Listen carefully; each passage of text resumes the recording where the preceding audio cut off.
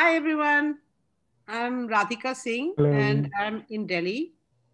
Um, my connection to photography is really rather old, except that it's been a little bit uh, cut off for the last few years. So I started uh, Delhi's first photo agency. It was a, in the beginning, it was a photo library. It was all very manual. It was in 1987. There was no internet, no computer, no, no mobile phones. And uh, to get in touch with people, you had to make phone calls. And if they were outside the city you were in, then they were STD calls. And so to collect a lot of people and give information, disseminate information, collect things, it all had to be very manually done. So anyway, the story is that I started uh, Fotomedia in 1987 and it ran through till 2000. And at its peak, Fotomedia had about uh, 150,000 color transparencies, uh, which we were selling on behalf of photographers to the media. So we had uh, advertising agencies, we had publishing houses, we had magazines, we had newspapers, we had audiovisual makers. Um, people were making posters. Uh, there were all kinds of anything. It was all kinds of things that ph- photographs were being sold for out of a physical office located in Delhi. And there were about 200 photographers at that time. And this went on as a photo library, but then it grew into a photo agency where we were representing photographers, doing exhibitions with their work, uh, working with publishers, as in becoming being a photo editor, trying to commission work with photographers, and in many ways, even determining the market for the pictures, what kind of pictures should go into what kind of advertisements, and the copyright issues, rates, prices. Uh, really, there was no reference at that time to what one should be doing. So it was learning on the job, trying to read up magazines. How do you contact photographers you don't know? It was trying to visit different cities in India, which meant you needed to fly or take a train. So basically, it was a, it was like a grassroots organization, and um, obviously you could you were limited by the amount of funding, the money you made, and how well you could therefore get more or contact more people or connect with different markets. And it was almost impossible to connect with anything outside india.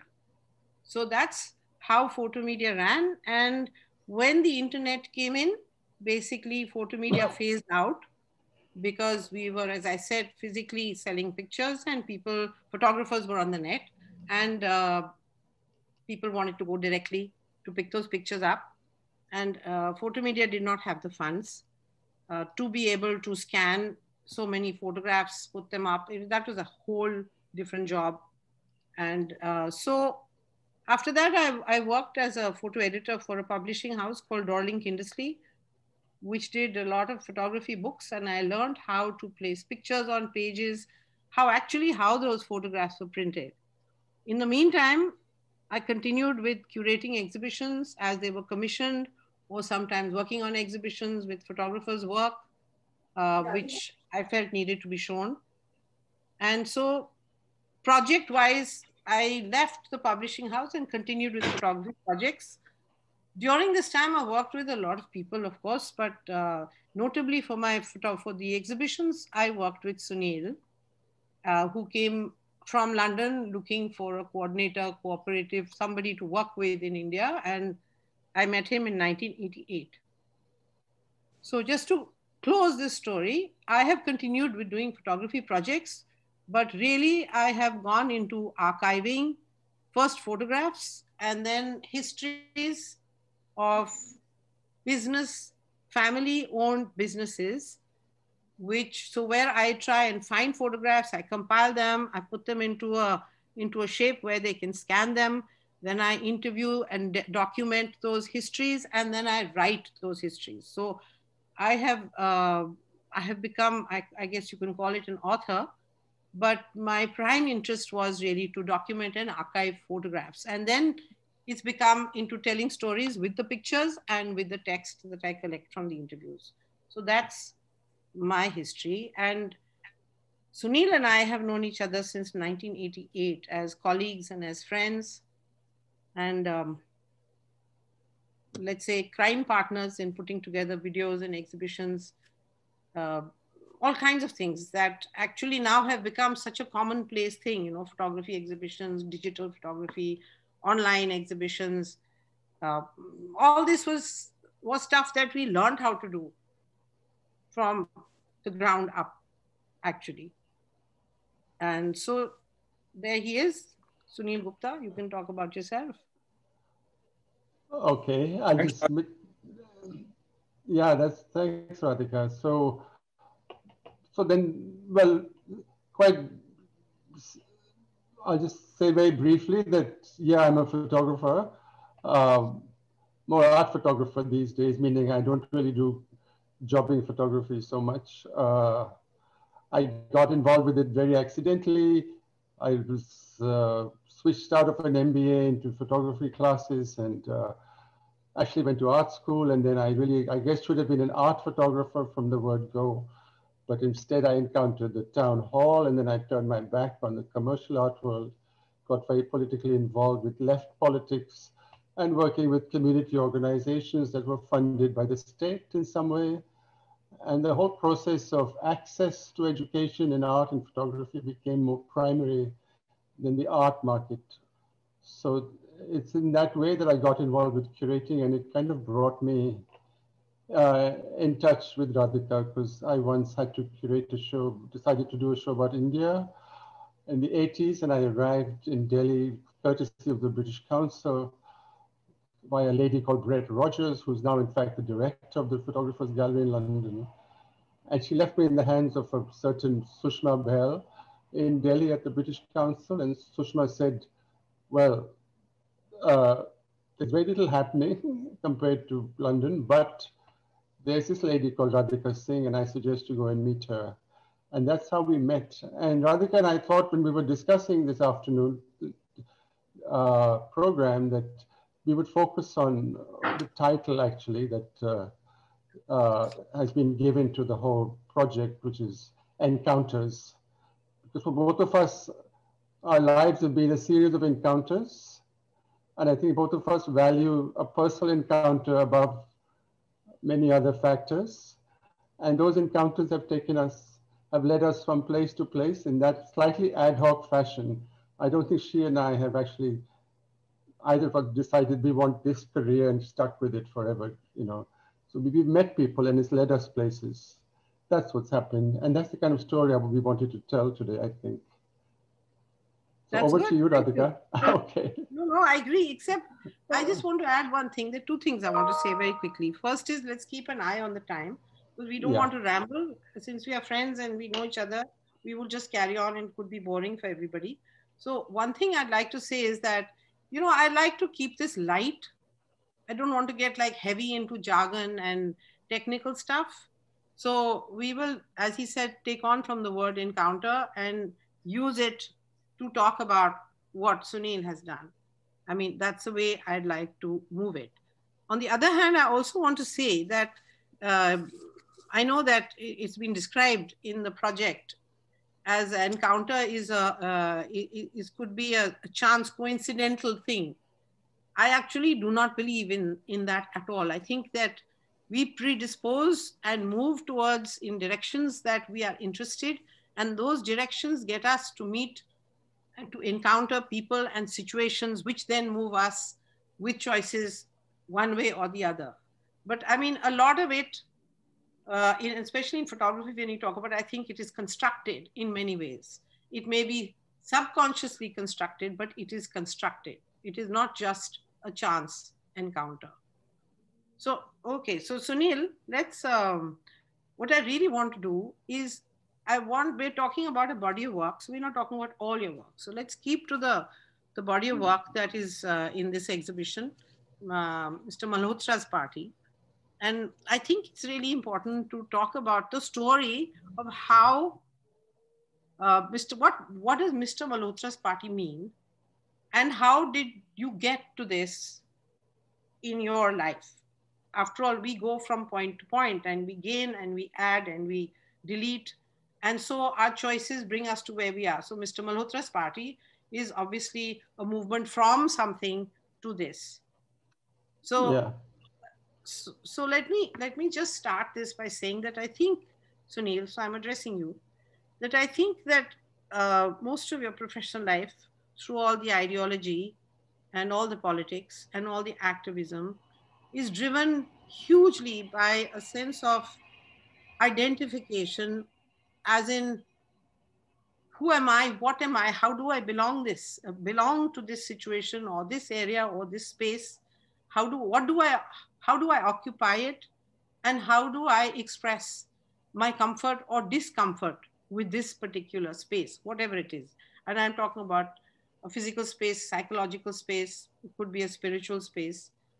And just so that uh, I can put everybody on one, just on a trajectory, Sunil has moved physically in his life. He was born in, in Delhi and he moved after 15 years. His family moved to Montreal, where he did the last bits of his schooling and then the beginnings of his college education. He was on a path towards business management because that's what good Indian boys did. And then he moved. With it, he moved to New York very much in response to a relationship and also to try to get to a, uh, another college where he could perhaps excel in this management studies and chartered accountancy where actually he dropped he dropped this and started courses in in photography and then went on uh, to get very seriously involved with the beginnings of the gay movement and the protests in New York in 1976 uh, with a series that he photographed on Christopher Street, which actually is an iconic series historically uh, for every reason. So just to quickly go, so from New York, he's gone from Delhi to Montreal to New York, then he moved to London to live. And then from London, he moved back after some years to India, where he moved, lived here for seven years, has gone back to London. Sunil has moved a lot. And in, in his trajectory, he has continually placed himself in a situation to say, do I belong here? Am I an Indian? Am I a migrant? Am I a trespasser? Um, is there such a thing as gay? Do I, am I recognizable as a gay person? What does gay mean?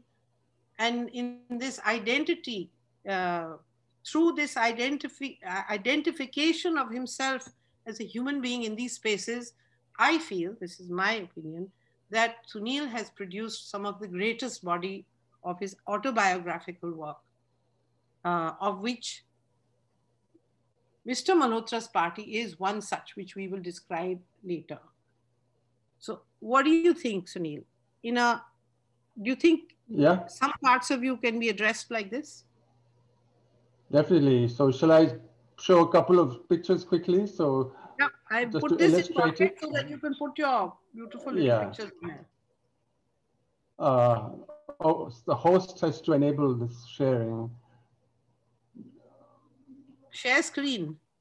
Yeah, you the share screen. The no, the host oh, has yeah. to enable it. So Dinesh, are you the host? No, he's not, and Dinesh, he's muted anyway. Is. So Sorry, no, I, from the... I, uh, Sunil, can you see the green button down there which says share content? Yeah, and it's disabled. By the host needs to enable us. Uh, the person who, whoever uh, invited us into the Zoom from the waiting room, they need to enable the. I have a feeling uh, everyone has oh, just oh, arrived uh, with the invite. Okay, right? I think I can. I have an option because as Tulsi left, let me try quickly. Sorry. Is that Rahul? Uh, it's Abu. Uh, so I will make you as host. So I think you can do then. That's a good idea. Yes, it's happened. Thank you. Wonderful. So, uh, hang on. Uh,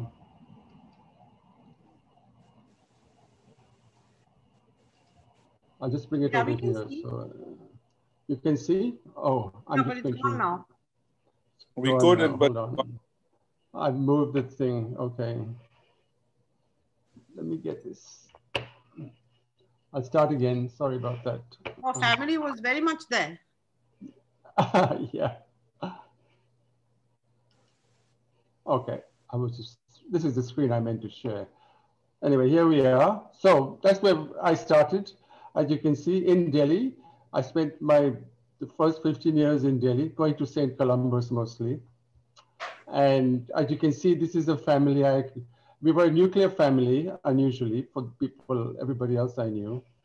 And uh, I think we were, uh, well, to describe this very briefly.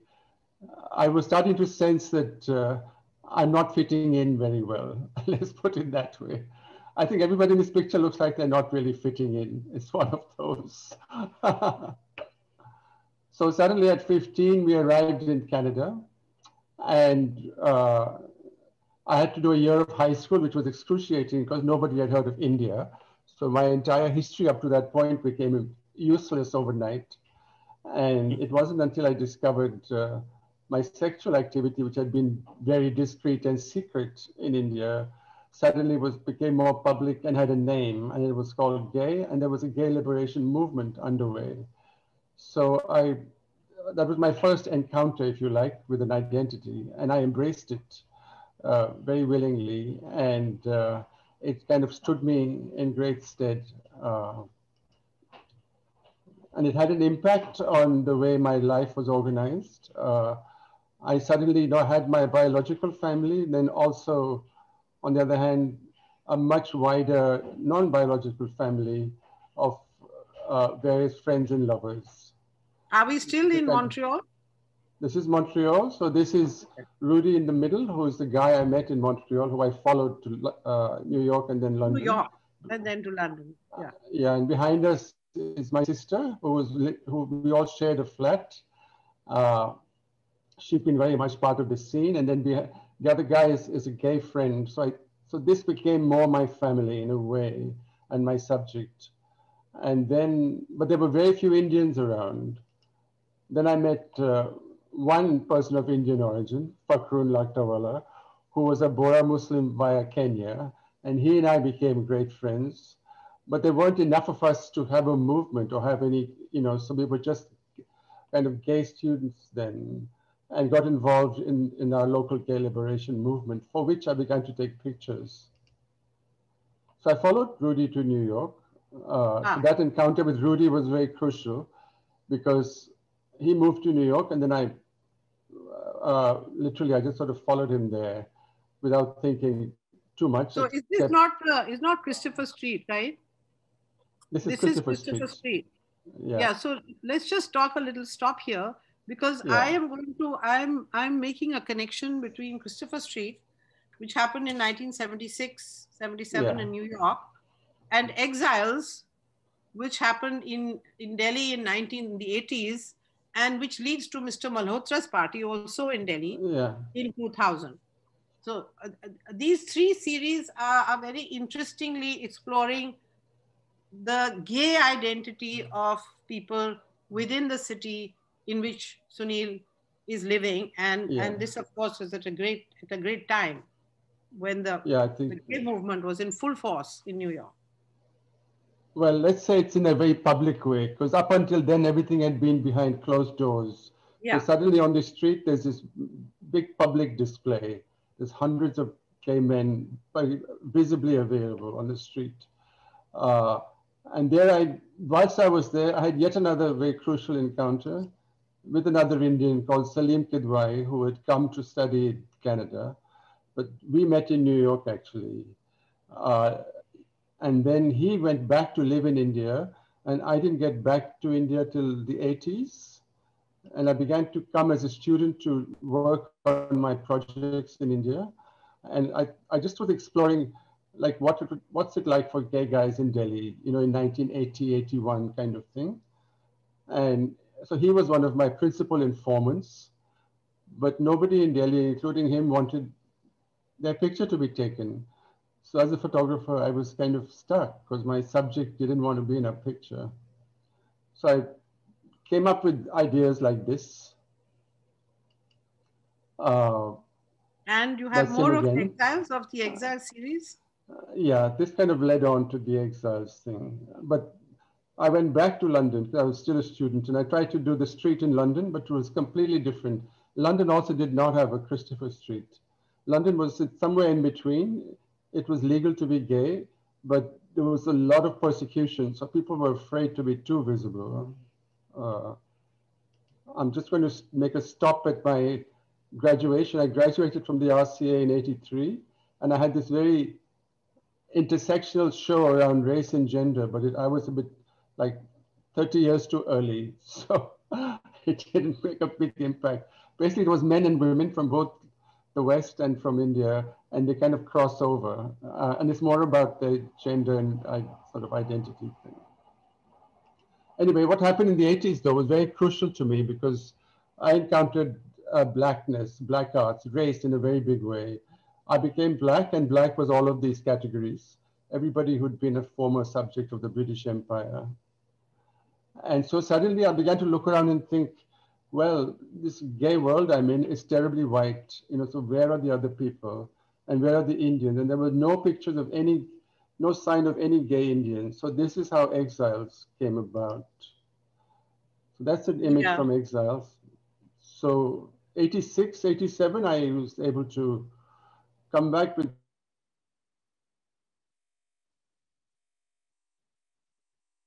Can't hear you, Sunil. Sunil, you gone on mute.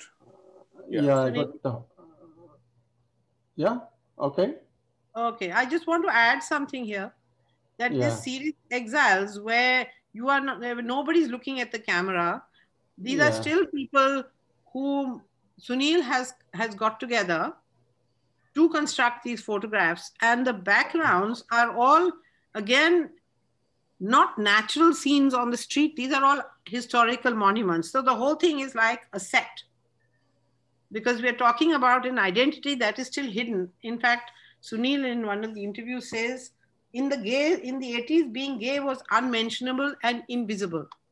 So this is how. So yeah. it's a constructed series, and this Exiles uh, is is is uh, completely is very different from Malhotra's party, but it's talking about the same thing. It is, and it's a radical shift away from documentary photography because I found it to be inadequate to deal with this situation where the subject didn't want to be photographed.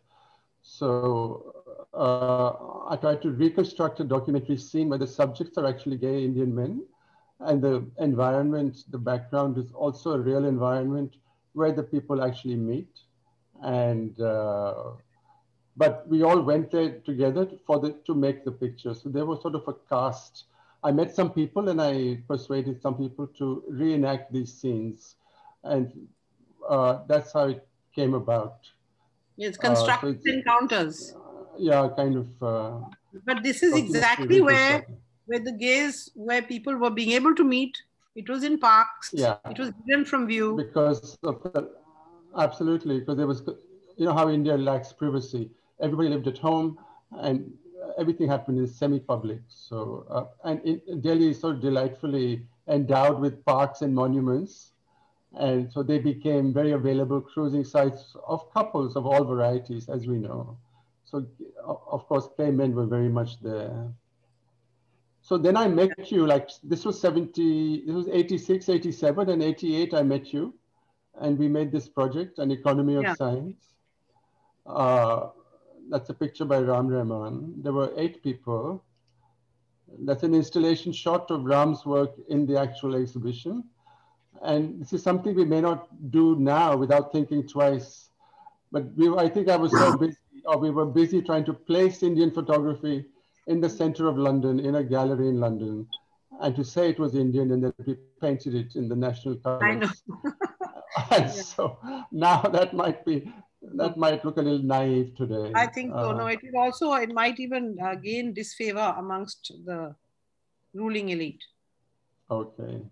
Yeah. Then, then I'm going to kind of jump a decade, and then you invited me to India. So Radhika, you said I've been coming to curate and research I need to show my pictures. This is now in the 90s, early 90s. And you organized a show in the Habitat Visual Arts Gallery. And okay, here's so a picture of context. installing context. it. Yeah. The thing is, again, we've reached a point where it is possible to show uh, pictures, uh, photography from a, a, person who is openly and completely, um, he is what he is, his identity is, is a gay Indian man. And in fact, a gay Indian man who is HIV positive.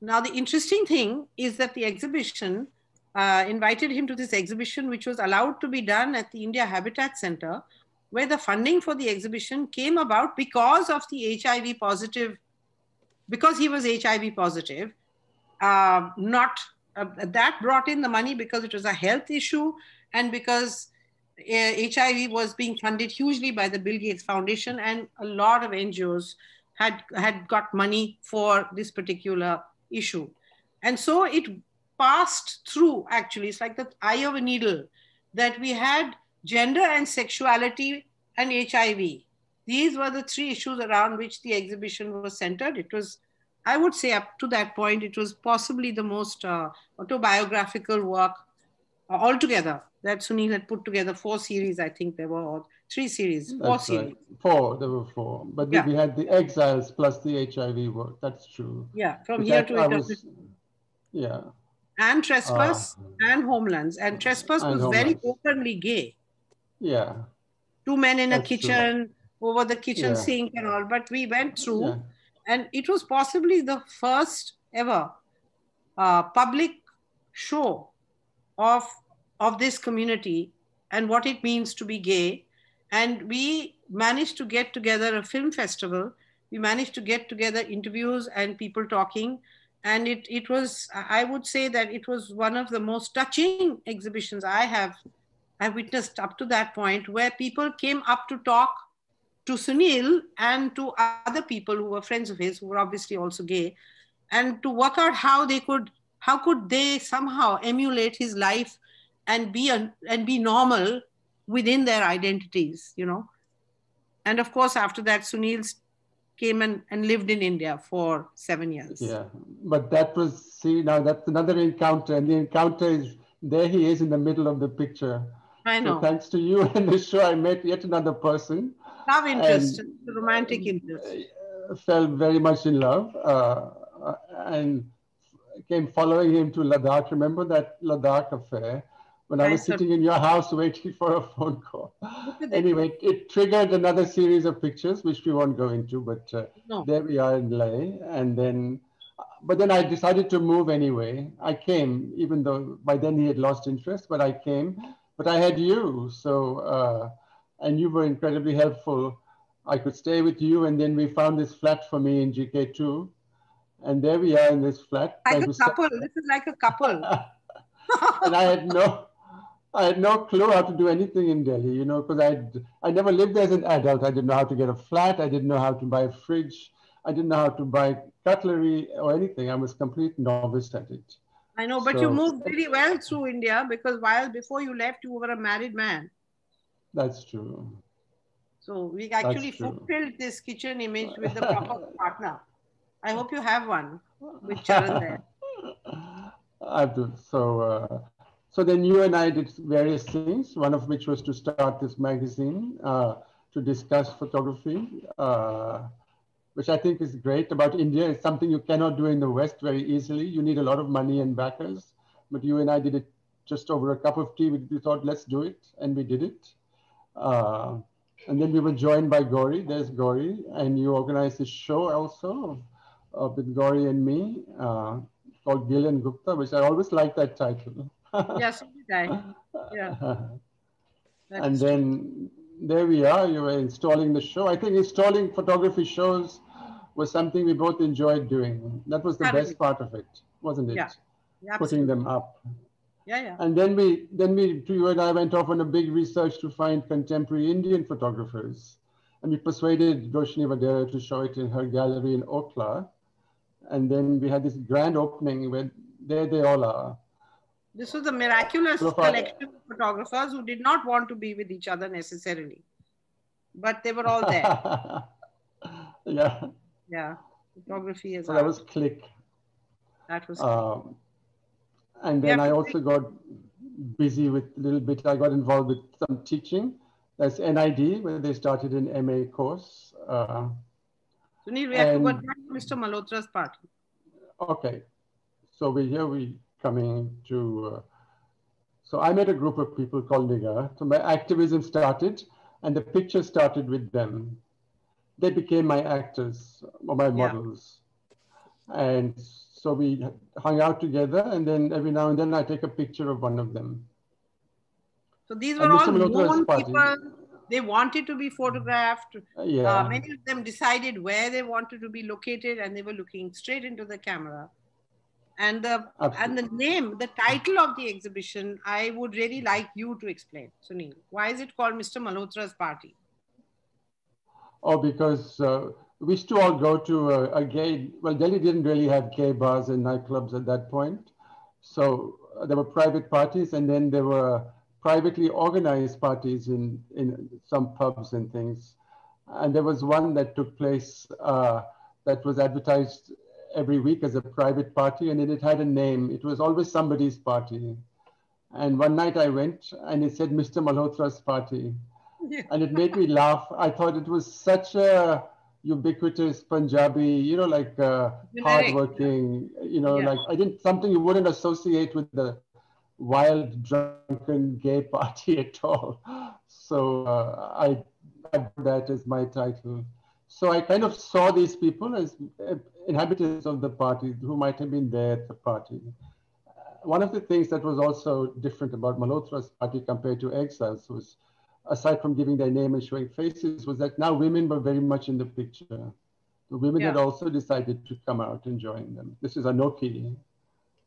Yeah. And there's Bikram. And so again, these are semi-constructed portraits because it's, it's like taking the studio portrait but moving it into the street. So I had no control on the background because that's the street. Those people just arrived. So, so you know, this is on 120 negative film. So I would take 12 shots, let's say, every shot is completely different what's happening in the background. So that was a fun thing. Uh, and so they carry on like this. There's about nearly 50 of them now. Uh, this is Akshara, who was, uh, I remember celebrating her 20th birthday party. One of the joys of Delhi was that everybody was so young and willing to include you. So yeah. I had a kind of, I relived my radical youth once again in Delhi. And so I had workshops in my flat, that flat that we found in GK2. It became a kind of adda, and we did all kinds of stuff, both queer and photographic. This is actually my queer group, but I'm having a photographic class. I ran photo classes for them. And you can we see on the walls already. The. We should talk about the transformation of the word gay to queer. And then queer happened, yeah. Uh, yeah. Somehow uh, India never had gay liberation, but it, it missed all that, a bit like computers. And then, uh, but it was just in time for mobile phones and queer. So everybody's saying queer suddenly. Uh, and in the yes. media, they're saying queer. Uh, queer was a different, when you're, when, you know, yeah, so this is something signed separately from. So, so it's not homosexual the, and gay, it's queer. It's heterosexual ah, look, queer. See this, in this headline from the Delhi papers, papers are starting to say queer, you know, so the media picked it up very quickly. Although it's actually, it's an academic term. It came out of Yale University and it spread around the world. Uh, uh, we had the first Pride in 2008. And there we are. You were there too. We were right in the front, weren't we? So we were. Doing, uh, I did that show with Vadehra that was very openly queer. Uh, you and I did uh, the big curatorial exercise where three dreams cross.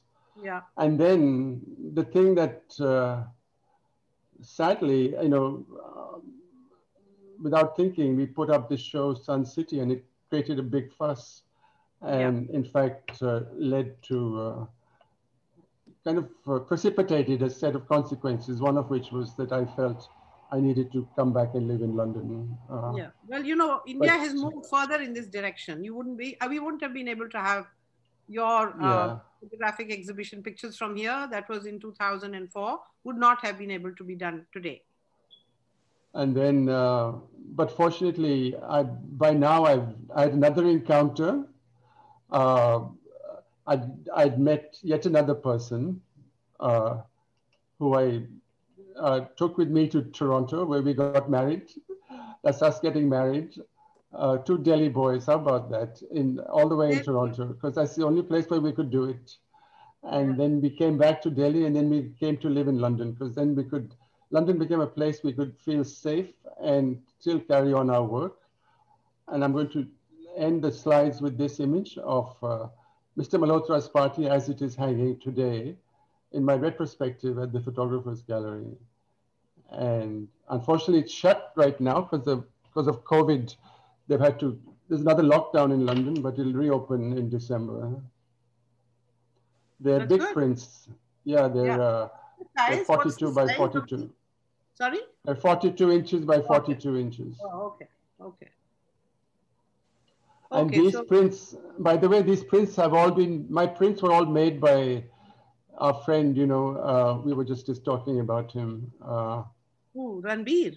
Ranbir Singh. So all of yeah. those four pictures were made by Ranbir. Okay. I should send it to him actually. yeah, I was worried about him, what was happening to him during this COVID time. Yeah. So I'm going yeah. to stop sharing so we can return to. Uh... Okay, so let me say, oh, that Tulasi is back. How nice to see you. So I'm saying we've yeah, run through, we've run through actually run through what we needed to say uh, to get us to the point of the photographs which are exhibited in the ETP exhibition at the moment.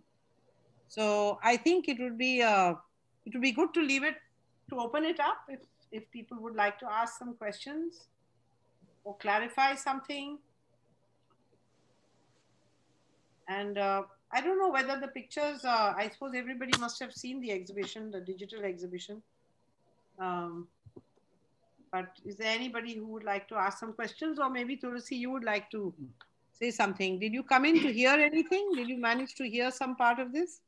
Just a few minutes. Um, I was also like uh, trying to share live because that's where our uh, majority of audience um, join. Uh, but unfortunately, some uh, sort of Zoom crash, I think. Um, oh. Neither my oh. phone or um, system, none, we could not uh, come in any of the systems. And actually, I think Ms. Radhika was kind of professing. We were talking like, you know, this could happen. And then we were just cut off midway. Really sorry for that. yes, um, I know. I, I was, you have to be careful of me. I have a black tongue.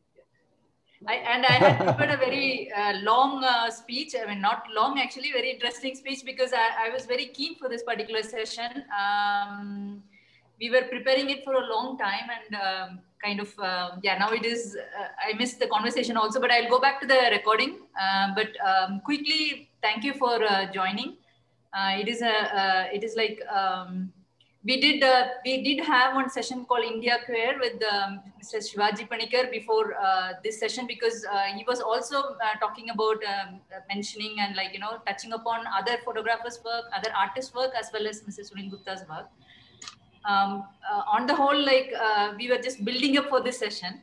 Uh, I hope like we have some um, some of our friends here who will come up with some questions, and then we can um, go on. Dinesh has a question.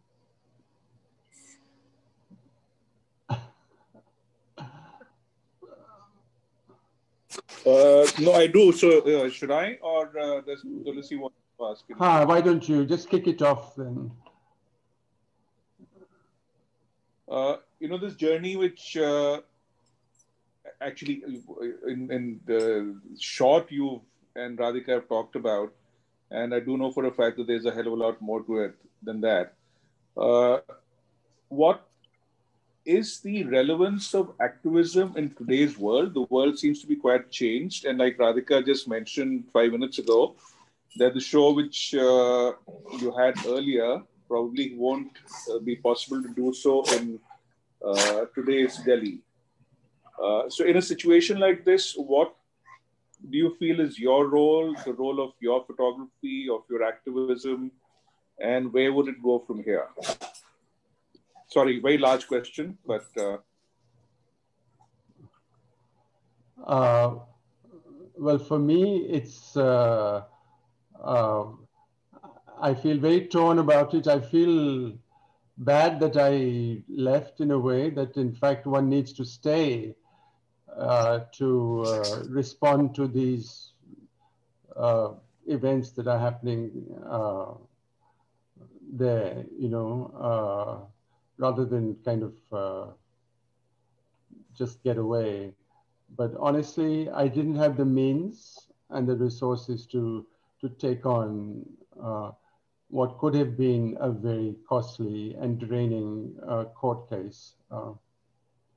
So I sort of stepped away from it. Uh, uh, and also I felt very vulnerable because uh, I'm technically a uh, OCI, uh, overseas citizen of India, which means that they can put me on a plane anytime they wanted to. So I didn't really want to uh, have that happened, and returning would have been very difficult. So now I've gone, I'm having to go back to the way I was earlier, which was to live elsewhere, meaning London, and then come and go. So I've been coming and going, and I've of course met some of you in my comings and goings. The last time was for that conference at the IISc uh, that Basant Nayak had organized.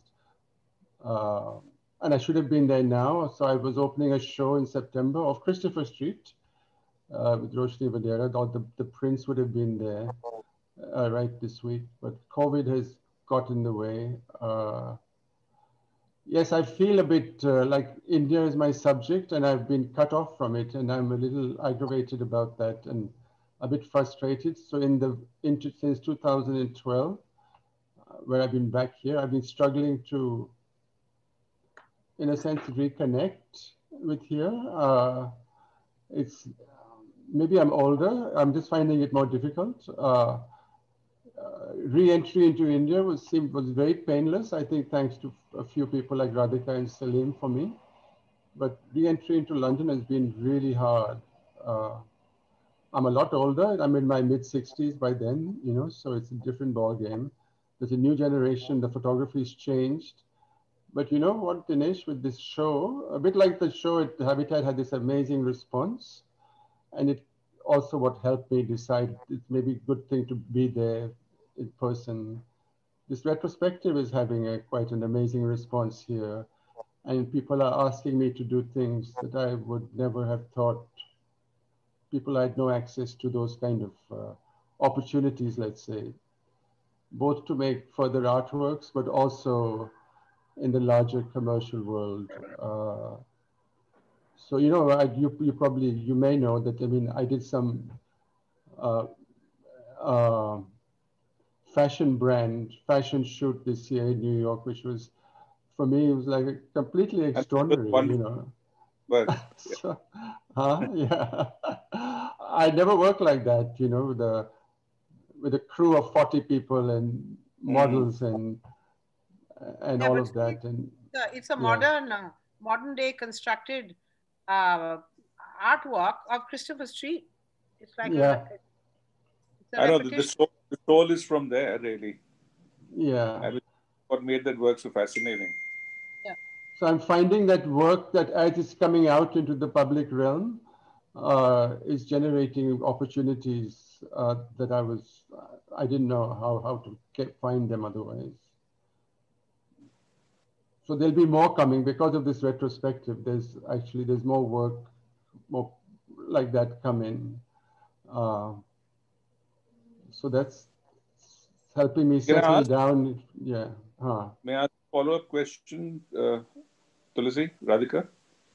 Yeah. Uh, sorry, so, you know, so while you were here and you did a couple of shows uh, with your work and your kind of work, uh, but maybe I am not aware of it, but I don't think there's been uh, gay activism related work which has been done thereafter, uh, both in terms of hearing of people who are doing that as a personal project and certainly not uh, work which has come out in the public uh, space, whether it's in galleries or whether it's a book.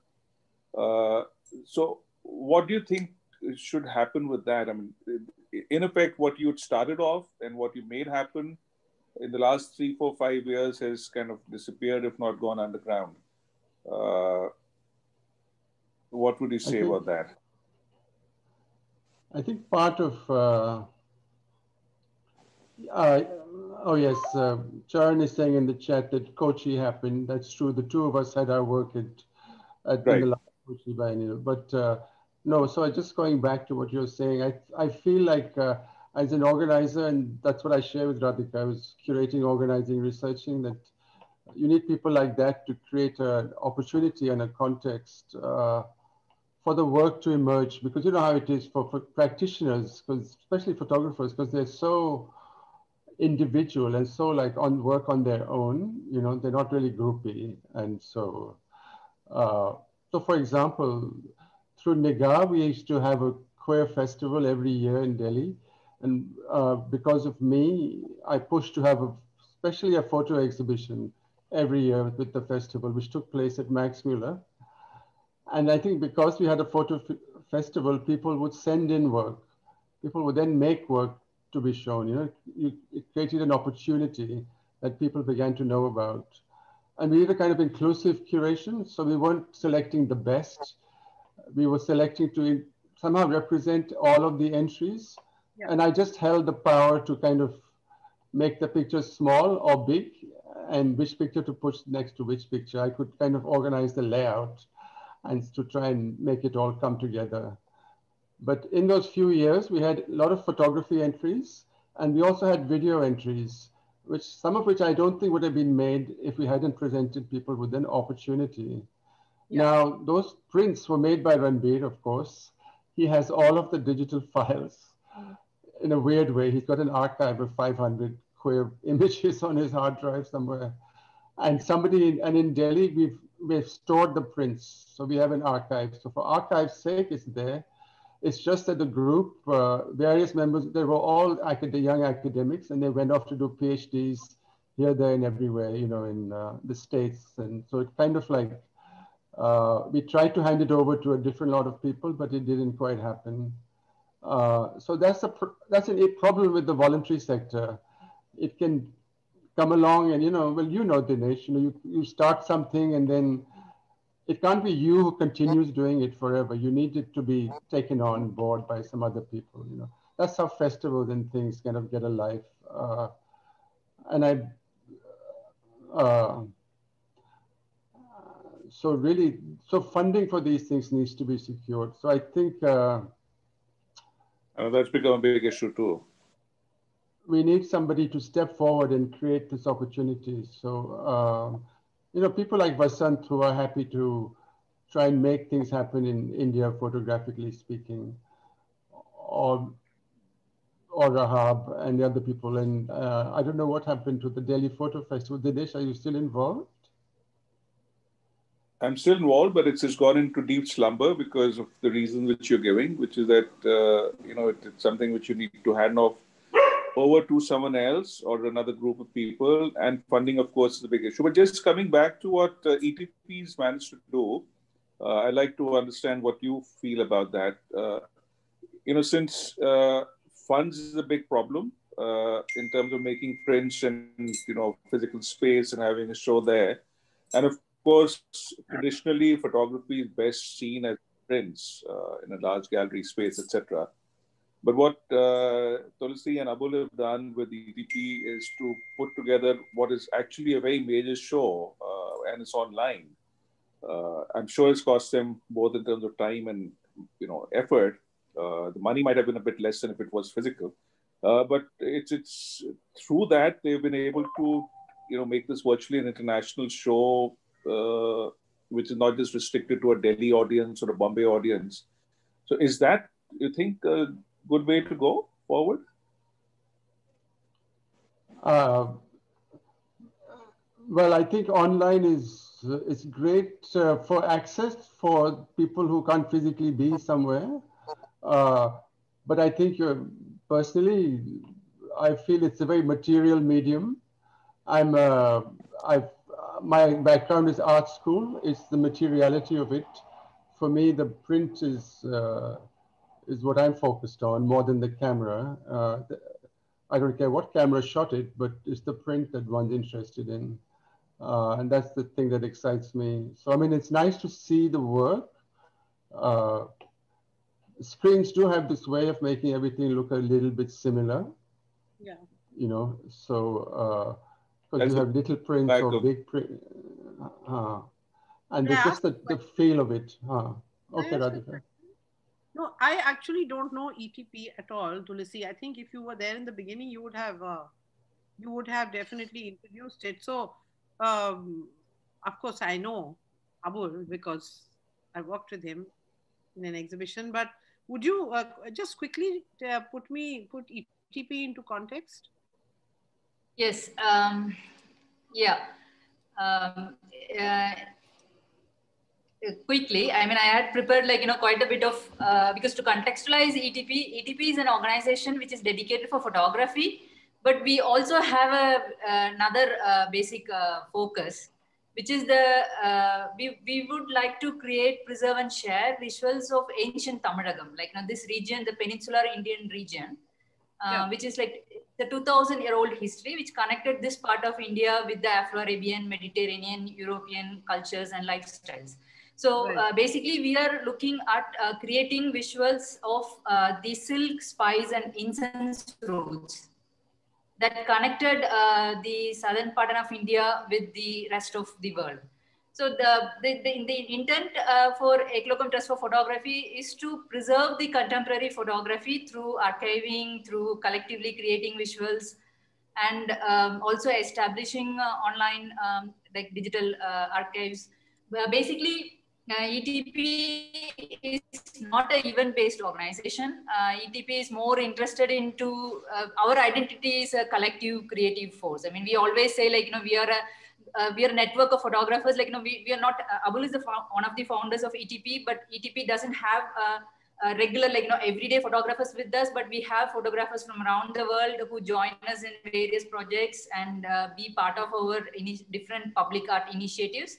So basically, for example, um, Sri Dinesh is part of, uh, like, you know, he has been part of our various projects and we have many uh, such uh, prominent photographers as well as young photographers part of a global Trust Photography. And the other uh, uh, part of ETP is like we are based uh, not in an urban sector. We are based in, like right now in Wayanad. Wayanad is, is a very beautiful area in Kerala. it is well connected to the rest of South India but basically uh, it is still very remote. It is not like you know being in a bangalore or being in chennai or being in delhi. So all our initiatives like you know uh, the challenges that you face um, in an urban center the challenges becomes like you know 10 times more here. Basically opportunities and exposure and those kind of things are much more lesser than um, what we get in an urban setting and being an organization that is mostly interested in creating and preserving photography, ETP has not come forward as an event uh, organization. Whatever we have done so far, basically, it would be like, you know, maybe having an uh, exhibition in a non-conventional uh, setting, probably in a cinema or probably in a house, in a village, uh, because our interest is also to reach out to the rural audience plus um, the uh, uh, when when this uh, pandemic came you know it uh, kind of pushed everyone to come out of their own limitations and etp was no exception. And that's how we came for this images of encounter exhibition. We are like you know kind of isolated and uh, what we do.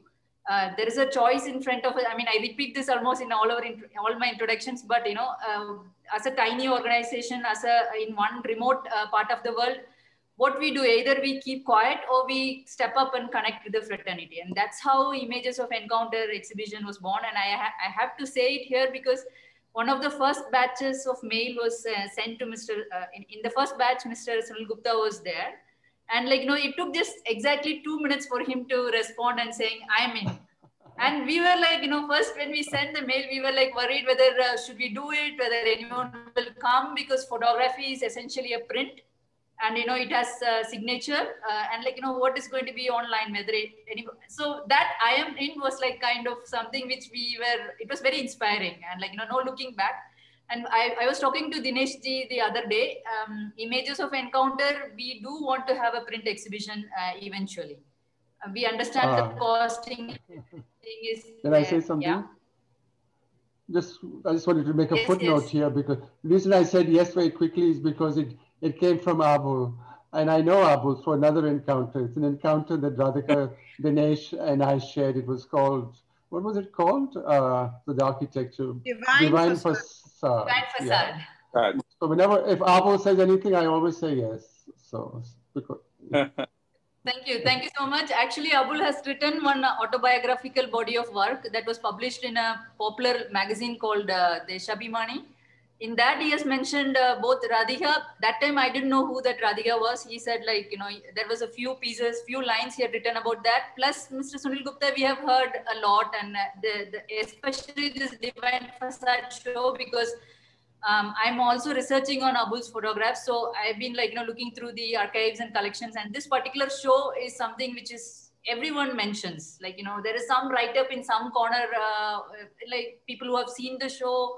So it was like um, very interesting, but to read the that autobiographical document and to hear the different names, like you know, I think Radhika was the one who first called and uh, spoke to Abul about this. Um, the the French, uh, the Charles Wallace Scholarship, something like that. She was the one uh, uh, who was uh, talking, coordinating with Abul on that.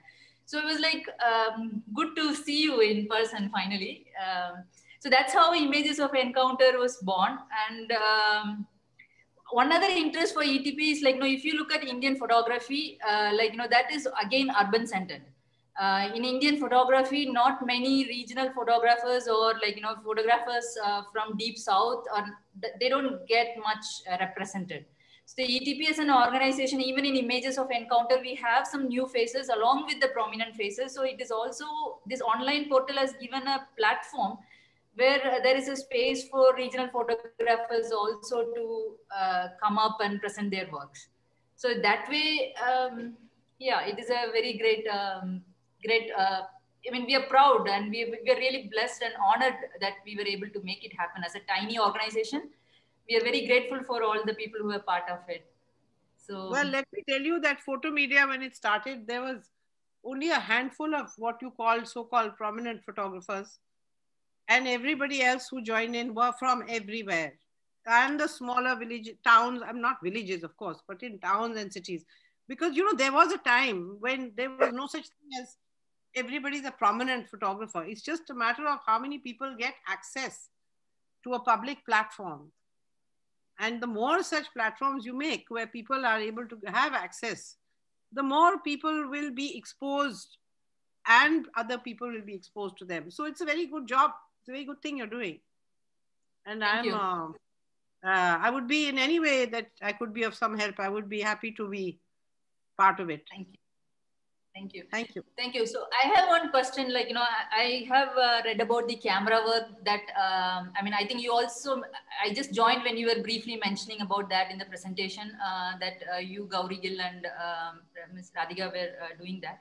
So I think it stopped from 2011. What were the reasons? And like you know, do you think there is a future for? I mean, I feel criticism or um, uh, uprising photography discussions is very less in India and uh, I haven't read any issues, but from your mission, which talk, which says that you are going to talk about the notion of independent photography, it says everything. Like you know, I can kind of imagine what what sort of content would have come in that uh, issues. So I'm uh, I'm just curious. Like you know, one is I would like to read them back when I uh, get more time, but at the same time, I would like to know why it stopped. And do you think there's no scope for uh, such um, no, no, no. such uh, portals in stop. India or? It stopped because at that time, it was really difficult to find further funding because actually we were working on a shoestring budget. There were different people, different organizations who had pulled in to help to finance this little project, and it was really being done. Uh, it wasn't. It was. It was not. It was not even fully funded. Actually, a lot of stuff went out of pocket, and we ran out. And we were. We had a very good support with the French cultural center at that time, and that person who was in charge of it, she moved so these are the kinds of things, but there is a huge need for such a thing. There is a huge need. And the thing is that it has to be a collection of people who are unbiased in their choice of articles and people to contribute. You know, but it has to be critical thinking. Critical thinking uh, is a very necessary thing for the evolution of any medium or any society. You know, so I mean, it, if if you uh, if you think that you know you could uh, could put it together, if ETP in some ways could do that, it would be a wonderful contribution to photography. But it is like that that you know there's nobody else to carry it on, and there's no funding, and you get tired, you know, of uh, of being the only one pushing something. No, uh, it sounds very familiar because uh, ETP also has a magazine. Uh, I don't know whether you may not have seen that. It is called photomail.org. It's an online magazine. And we were uh, very much working between 2016 and 18, but now we are a bit slow. But the last uh, few weeks, we are revamping uh, the online magazine. Uh, yes, without funding, it is very hard. And without readership, the other other thing is like, you know, that we don't know how many how many of them are like, you know, serious readers we now everyone calls themselves photographers but how many of them are like you know going into the philosophy or theory or the uh, the form and kind of so many aspects of that uh, photography and its expression so uh, yes uh, it is a hard thing um, i mean uh, because etp is a small team managed uh, abul is the editor-in-chief of photomail also um, etp is a small team with this um, so our uh, we also don't have any funding or resources, and it's really hard job for us. But we are sustaining basically because we are we are a small team and of volunteers who are able to dedicate in spite of the limitations, like you know. Uh, yeah. in, with the very limited resources and like you know um, all all the team members are volunteers as far as ETP is concerned. So we are yeah. still managing, we are still running, um, but it is hard yeah. we don't know how long we can sustain that okay so we can open yeah sorry i was just saying mostly such organizations and movements are run by volunteers and the funding that we talk about comes in if at all to help in the actual doing of something where you spend money in our time we printed it see we had a it was print it was hard copies it was not online you know so yes. that yeah. needed money for everyone and then you distribute it. It doesn't go on the net. You have to physically distribute it, you know, send it to somebody who's taking a flight to go down to Chennai, you know, so that he can then give it to somebody who can distribute it in Chennai. It is so, but I mean, They've that's the only gone. start. I mean, um, Dinesh would I've know. just sent some. He's done yeah. Uh, he's also been part of, I mean, you know, organizations that have well, while this conversation is going on, I'm just thinking that you know each one of us has been uh, uh, affected by the paucity of funds, and funds uh, you know either come from the government, comes from the corporate sector, or comes from practitioners. Uh, the government is not interested. The corporate sector says it's stricken, and the practitioners currently don't see things as being very bright.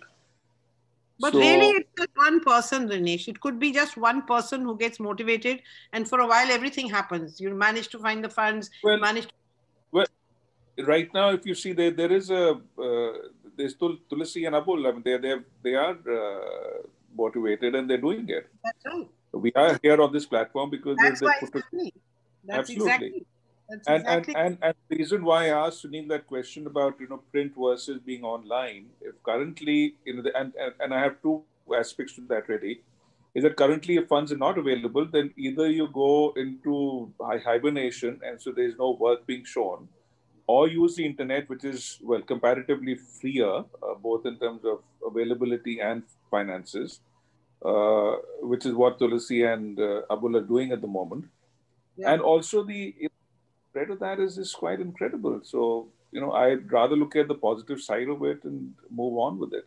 The other, which I have over the last five or seven years realized, is that for Sunil and me and Radhika and probably Tulsi, you know, the thing of the materiality of the print is paramount. Uh, I am extremely surprised how little that paramountness seems to be so in the present generation uh, because they their entire interaction with photography is on screen. Yes. Uh, uh, and, and, so, and, and I, am deliberately saying this. It's it's controversial point. Uh, but in India, I'm telling you, it is something which is the reality. People who've come into photography, the digital medium and as a screen medium, whether it's on a camera screen or whether it's on a computer screen, uh, are totally unfamiliar with the print. Don't even think of that as, as a possibility. But uh, you know what, Dinesh? What I also though see on the other hand is that there's a there's a huge interest uh, amongst young students anyway and young practitioners in analog, and they all want going back to film cameras, and also there's a huge interest in photo books uh, as a physical medium, and now there's a whole world of photo books. In the West, when you go to photography fairs, there's usually a whole other secondary but almost semi-independent photo book fair. And I've gotten involved with making some. So two have just come out and they're very different and it's hard to see digitally. So one is a black and white, very silvery book. It's even got silver on the edges. And it's very classic. It's black and white. It's, a, it's the same size as 10 by 8 prints. Uh, it's very glossy and shiny and it's just pictures and uh, people really like objects like this you know it's a physical thing I, I, on the other hand so that I, I 100% agree with that uh, and i do i do know that this is uh, there is a segment which is very involved with photo books uh, yeah when it's self-published for instance the last photo festival in 2015 we had a very large section of photo books which were displayed there uh, the only point I'm trying to make is that in a, at a time when funds, for instance, are a problem, one, two, when there's a new medium which has become available, right? The internet yeah. wasn't to the extent it was, say, 10, 15 years ago, but it's there. So yeah. is it right for us to say ki we will not go down that path simply because no, it does not follow the path we came from? No, no, you That's have your... to go down path in any case. There is this is an inevitable, and it is a, a, a totally democratic medium, and it should definitely has to be followed. But you know, you're just talking about it's like write handwriting. You know, it's either writing by hand or or printing or on the computer. Of course, of course, this path has to be taken. This is the path that the that the younger generation know. I mean, look at the way people are taking pictures pictures were only taken by people who had some privilege earlier because you have to buy a camera and then you have to buy the film. I know. Either you were a rich person or your photography was a That's right. Yes, That's was, right. Your father for that, yeah. You were a rich person. Yeah. Today, this thing, hmm. Everybody's taking pictures, which is fine. That's that's the photography today. But I mean, there are two parallel things. The other one, I'm sure it will come back and there will be. Look, Dayanita was making photo books right in the beginning. Dayanita Singh was the one who actually pushed that photo book concept here in India, I mean, in our heads, I think. Am I right? Dinesh? Yeah. Yeah? Yeah, to a large extent, yes, of course. Yeah, beautiful. There's a beautiful medium. Of yeah. course. Books. I'm now writing books and they're being printed.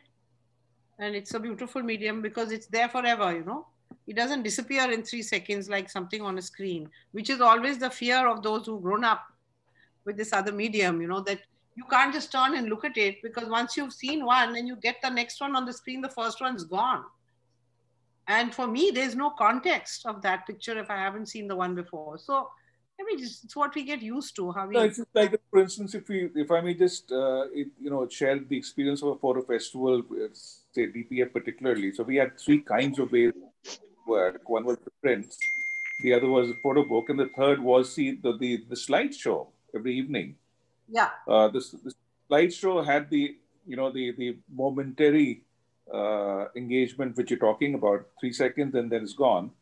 Uh, but I won't discount it. It was very popular. A lot of people, a lot more people got to show their work, which if we had only stayed with prints, we would not have been able to represent 25 other photographers' works there. Agreed. Agreed. But so that's the only the only point I'm trying to is that shown on the screen for uh, during audiovisuals as part of a photo story, a dramatic exactly. photo story. And what kind of look at those audiovisuals? This to blow people away. You know, I still think it's the the grandest thing for photography ever was this 1820 projector. Uh, you know, uh, audiovisuals really. Well, we're lucky to have been in that world, and now I guess the next generation is lucky to be in their world and everybody feels absolutely that, that's i think the way it works yeah that's the way it works Anyway, I think this was. But I agree with Sunil. I mean, the, the sheer, you know, the grandeur of a print, especially the 42 inch, 42 inch prints he's talking about. Uh, whoa, it takes my breath away. Um, hi, Radhika. Can I say something? Yeah, Yes. of course. of course, how nice. Very Hi. I Hi, this is Anita. Hi, Sunil. Hi, Dinesh. It's great to see all of you here. can't see you. Oh, hi, uh, Anita. Uh, yeah, Your I, video is I off. guess my camera is, yeah. Ah, so I really enjoyed this conversation about the book and the print and the audio visual. Just want to bring Sunil back, and if he could just, uh, you know, he was talking about his both the books. He showed us one. If he could just show the other one, I was just very curious Oh, to yeah. see the, that's got sort of. Um, That's yes, uh, yeah, I was that one. so So were instead trying to uh, compare both the books. yeah, so that, very please. different. That's a Yeah, photo book. thoughts. Yes. This is a this is a single project. Some of this is in the exhibition as you see it here, exact picture. And then the other one, instead of doing a catalog of the exhibition, we made a scrapbook of my personal archives to provide a kind of background, a kind of context for all the work that was done. So all these encounters we've talked about today, they're in this book, and it's just it's a soft cover with colored pages and handwriting, and it's personal snaps, it's letters, it's uh, it's how I started with my basic camera, how I've ended up, you know, nearly having a heart attack with heart monitors, and in between, you know, there's uh, the family and my mom, and then I'm ending with uh, the next generation. There's a baby now, uh, and how we got together appeared in the Guardian. It became public. Uh, let me see. So you know, just a way of uh, of looking at things. Uh, Yes, very nice. I love it. it's a a kind of for- background. Yeah. It's great to see my parents every Christmas in Canada. You know, that's when I, that was my annual visit like that, you know, so uh, it all went towards it and then the, and the shows that Yeah. happened. Like that. Yeah, it's Sunil, totally in contrast the other one. paper? Sorry? Have you used a different It's kind in of paper for this book? Yeah, so totally. It's a, it's a very nice paper. It's like, it's a bit like newsprint, but it doesn't have show through. It's very nice uh, quality. It, it doesn't see One- through, so the color doesn't so come through. nice. Malleable and malleable. It's, uh, Yeah, and it's very matte. But it allows me to put things together. So this is a picture from Bombay, from Chowpatty, and that's a poster of an AIDS exhibition we did in London. You know, so. It's what we used to call scrapbook in Ah, my time. scrapbook, exactly. There's a letter from the hospital telling me something is seriously wrong with me. I need to come in. There's my friend Roshni. I, I curated her exhibition. She's a South, South Asian woman here. And that's the first gay marriage I went to in Boston. Uh, here we are. That's Nigaah, uh, representing India. Modern India was a big show in Spain. Uh, mhm. and Nigaah did things like publish guides to sexuality, that kind of thing. Uh, No, this- that's Delhi. like- Cool book, really. Wow. Uh, that's yeah. Very nice. Beautiful. I'd love to. Uh, That's us. Okay. Yeah. Brilliant.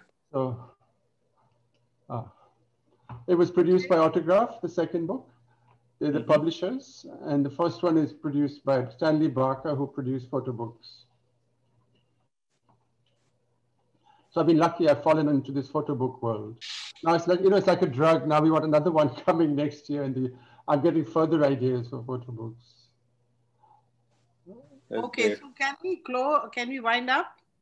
Ah, Is that okay with everybody? Tulsi? Tulsi doesn't have to be around again, is she? Yes, it's fine. Yeah. Yeah, I need to go and I- get the dinner together. Yeah. So yes, um, thank you so much. And um, I, I still feel that I missed the major part of the conversation, but um, I'm sure uh, everyone here, uh, like, you know, from the way it is going on with the energy and like, you know, the flow, it feels uh, a great one.